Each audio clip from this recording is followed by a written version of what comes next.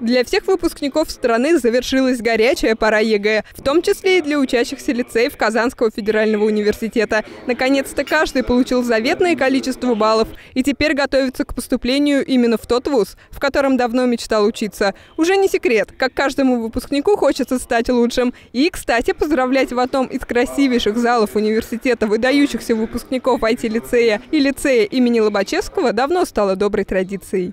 Это традиционное наше мероприятие, которое проходит а, каждый год. Это встреча с ректором лучших выпускников лицеев Казанского федерального университета. Здесь представлены победители и призеры Олимпиад всевозможных конкурсов а, всероссийского уровня и международного уровня и а, высокобальники ОГЭ и ЕГЭ. Ректор Ильшат Рафкатович э, Гафуров очень внимательно относится к лицеистам и всегда по завершении учебного периода и сдачи государственной итоговой аттестации принимает их в своем, в одном из красивейших своих залов и рассказывает им о Казанском федеральном университете уже прицельно, потому что это ребята, нацеленные на поступление в университет.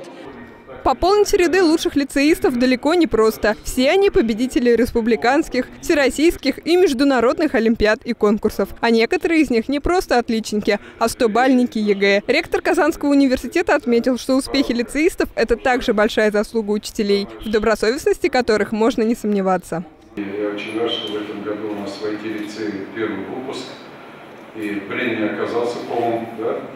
Пока, по крайней мере, те результаты ЕГЭ, которые мы получаем, они нас радуют. ОГЭ это вообще хорошо после 9 класса. Там. Ну, и русский язык очень неплохо сдали, и некоторые наши лицеисты сдавали обществоведение.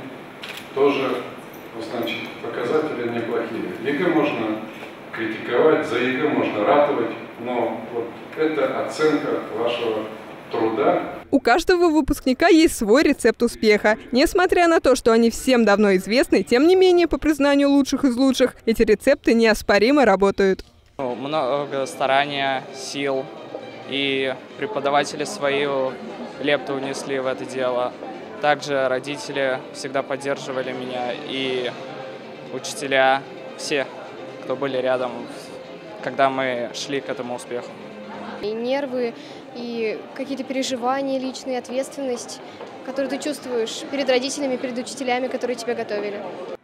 Стать гордостью своего лицея – это не только достижение, но и ответственность. Ведь большому кораблю положено большое плавание. И теперь каждый планирует поступать не только в Казанский федеральный, но и принести университету новые открытия и блестящие победы. Аделя Мухаммедшина, Руслан Уразаев, Универньюз.